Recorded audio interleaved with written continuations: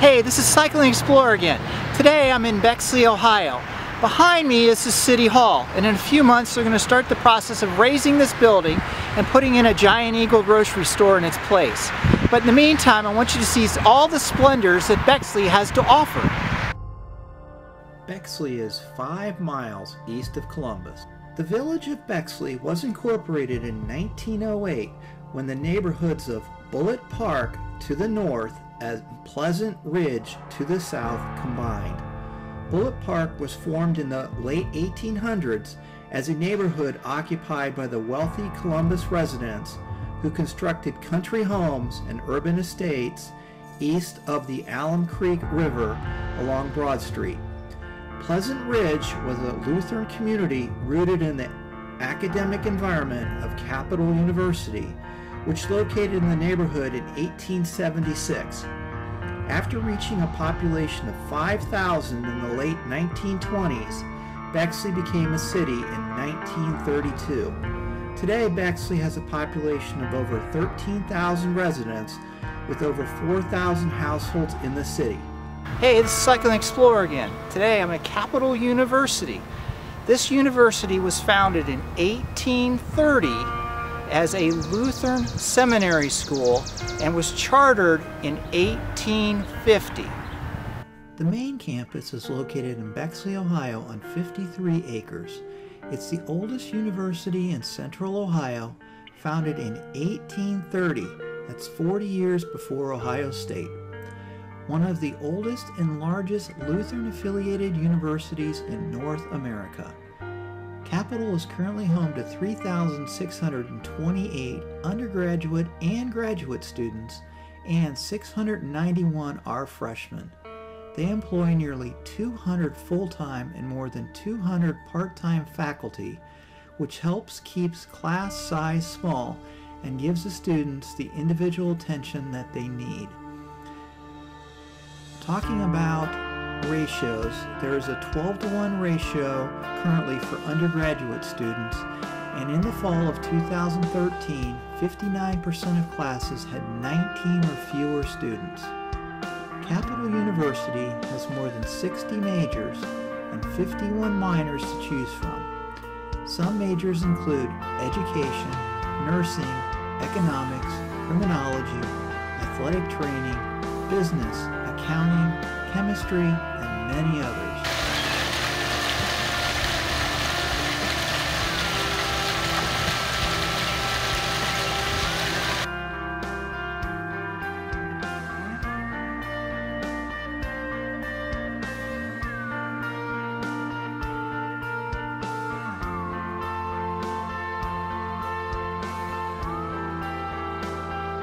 The 1930s era landmark Drexel Movie Theater on Main Street is a leading area movie exhibitor featuring independent and international films on three screens. It is currently operated by the Friends of the Drexel Incorporated as a nonprofit foundation. The Columbus Association of Performing Arts, or CAPA, manages the theater.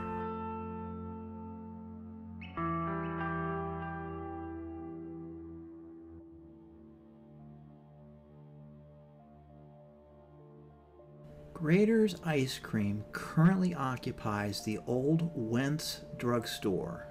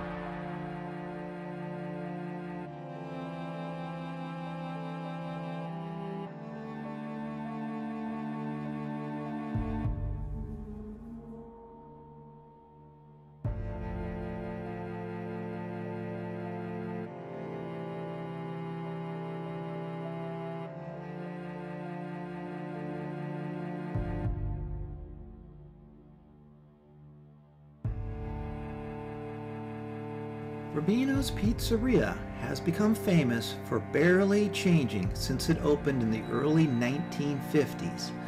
Rubino's does not deliver and only accepts cash or checks. The Main Street address is its only location and has been independently run. Known for its thin crust pizzas, carry-out pizzas are packaged in paper rather than cardboard boxes.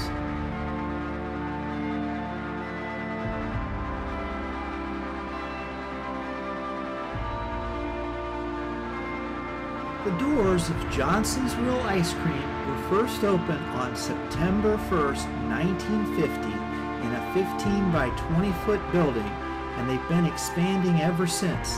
Today they have ice creams, yogurts, sundaes, shakes and drinks, soups, salads, sandwiches, and much more. St. Charles Preparatory School is a four-year Catholic high school.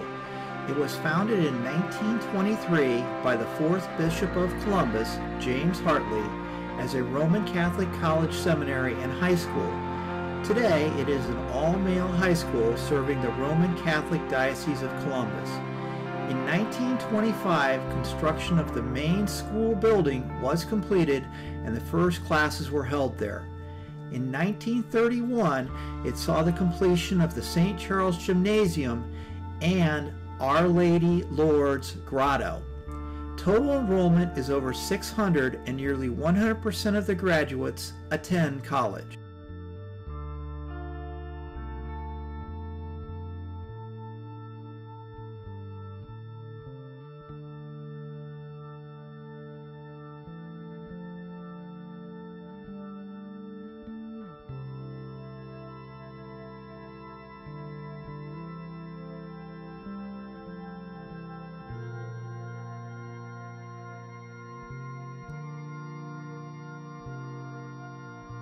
Wolfe Park is located on Broad Street in Bexley, Ohio.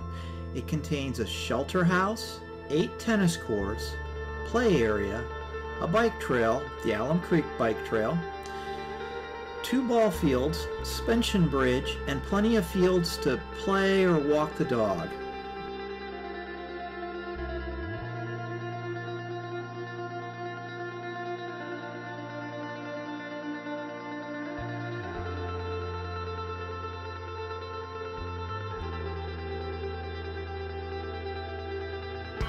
Built as a single-family residence in 1905 by industrialist Robert H. Jeffrey and his wife Mary, Jeffrey Mansion and its surrounding 32 acres were donated to the city of Bexley in 1941. Today, the historic building offers city recreation, sports, swimming pool, tennis courts, cultural and arts education program, and provides special event facilities for the community. Inside the first floor were the living area, the second floor was the bedrooms, the third floor was the servant quarters, and the basement was a shooting range. Thanks for watching. Now get out and explore.